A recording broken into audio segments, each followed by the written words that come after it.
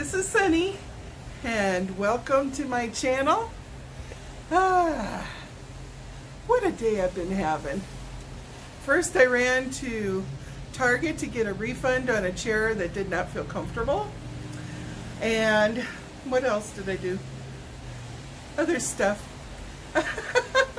I went to City Mill and got a chair that is comfortable. Um, am I in focus? Let's see. I think I'm pretty much in focus. Well, you know, today we were supposed to be unboxing the Zero Water. 30 cup Zero Water. Well, I made a video unboxing it and it was 23 minutes long and it was boring. so I threw it away. I'm sorry. I don't want it. I don't want it boring. Anyhow, um, I have everything ready now. I needed to rinse out the uh, brand new container and the, all the parts. And uh, here is the zero water filter.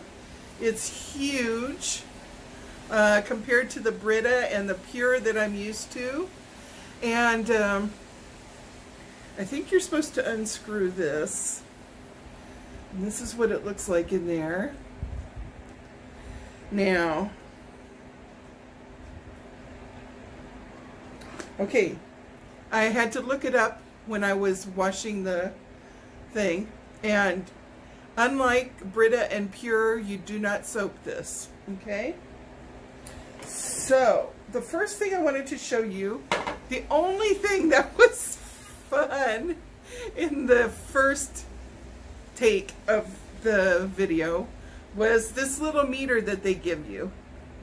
Okay, so you can turn it on and it says zero, zero, zero. And then you put it in your tap water. But let me try it. Let me see. I'm, this is the Menehune water, the filtered water that I get. And I'm going to try it. It is coming in at 000 as well.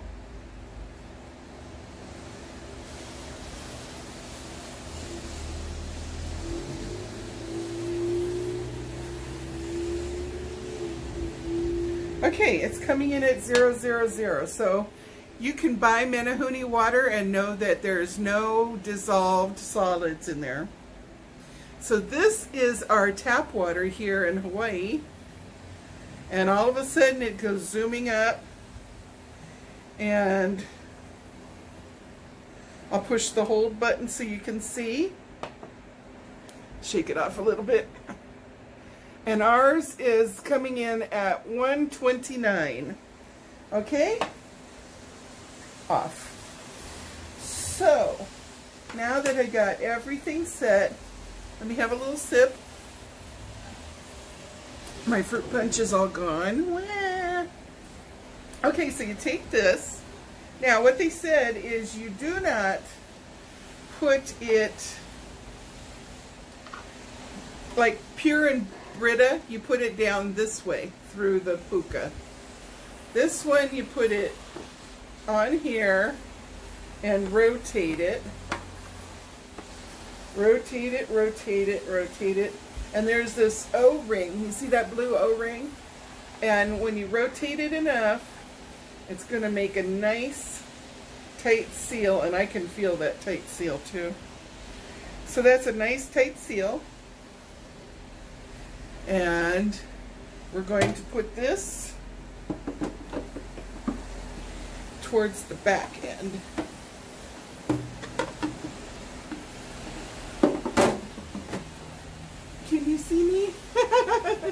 okay, so we put it together, right? And then you pour your water in here. And then it's going to filter down into here. So, let me take some of the tap water that I've got. And I'm actually going to pour the glass that we tested at 129.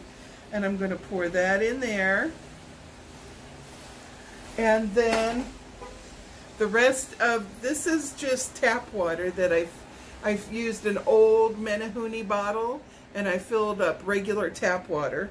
I have Menehune water that is fresh, freshly opened. It's just, it's just from the store.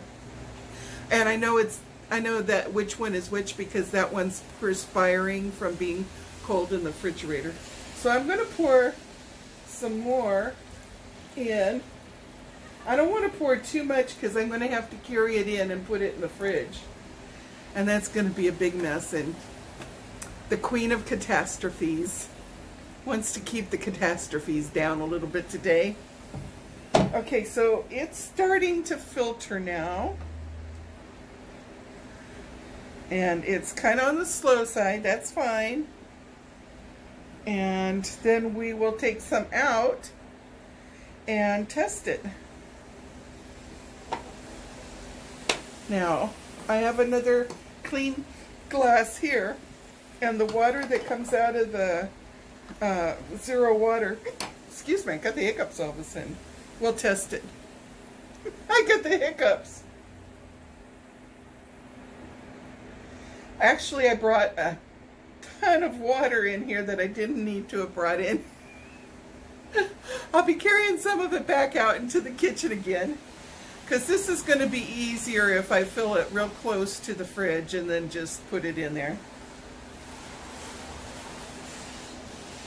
It uh, surprisingly goes through pretty fast. I would think that maybe the first uh, couple glasses will have a few little specks of um, the sandy stuff that it's, you know, just coming out. I'm not sure where it's coming out from. I did not see a puka in the bottom of that filter, but perhaps there is.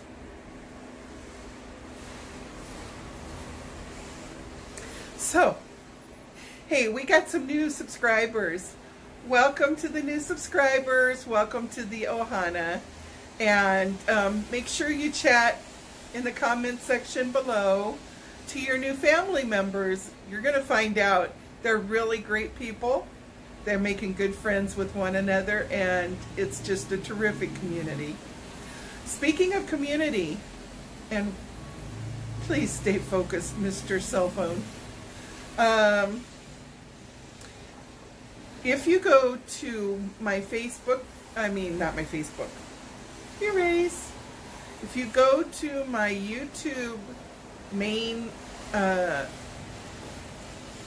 like this is my channel page, uh, where you can click at the top like videos. When you click videos, it shows all the videos um, with the latest one up at the top. But if you keep going over and over and over, over here is a thing that says community. And sometimes I post um, comments and um, announcements there. So anyhow, make sure that if you get notified, because you click, click the little bell, right, when you subscribe, so when, when you get notified, you either have a video or you have an announcement over there. Well, I find that this is actually not too slow of a filter. I'm going to pour more. Oh, see what else I brought? I brought that gallon and I brought this and I don't know what I was thinking.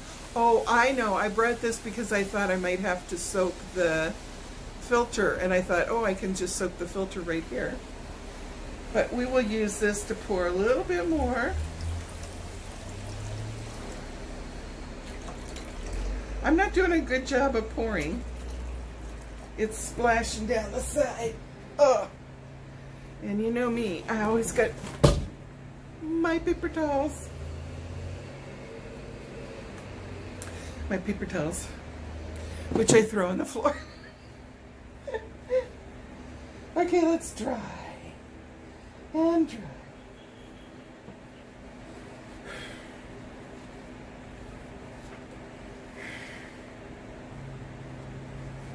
Let's see if we can get some out.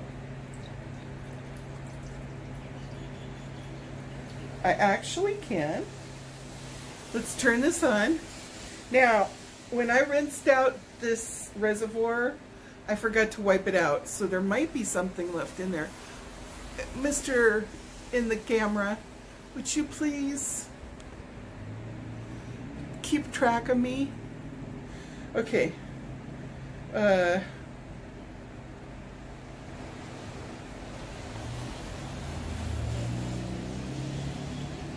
oh.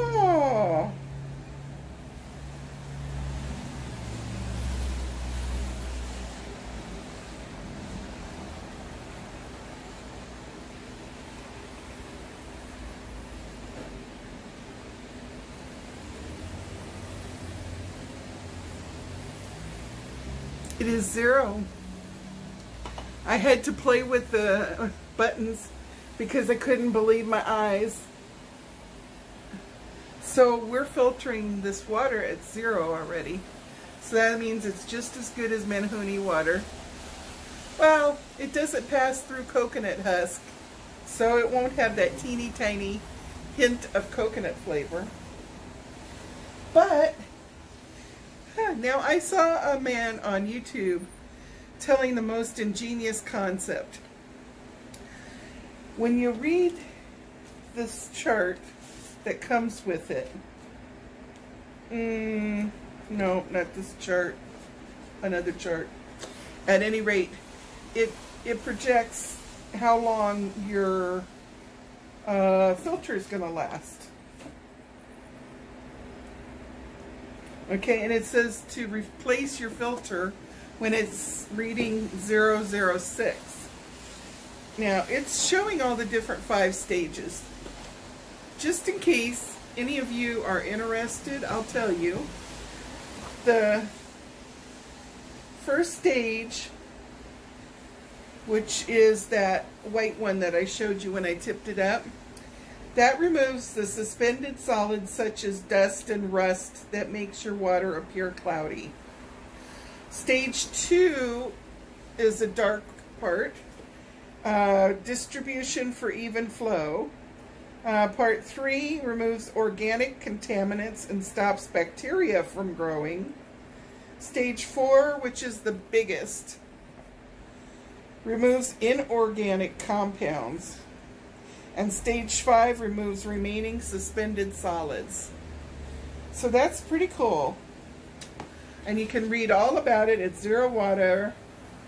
Uh, only dispenser certified to reduce both lead and chromium. Now that's important to me because chromium, it, it builds up in your system and it, for me, it made me have a really um, low blood sugar one time. Uh, that was from taking massive amounts though. That was in a vitamin and I did I wasn't aware of it. So okay, this works well. I'm very, very happy with it. We'll put this through again, it couldn't hurt it. And put this in there, that won't hurt it. Okay, so I got all my glasses emptied. I'm going to take it back out in the kitchen, get it set up in the fridge. Um, so this has ended up being a short video, but um, you know what? I didn't do the taste test, did I? So let me get, let me get some poured out through this spigot. And I have to say the spigot works great too. Okay, Cheers.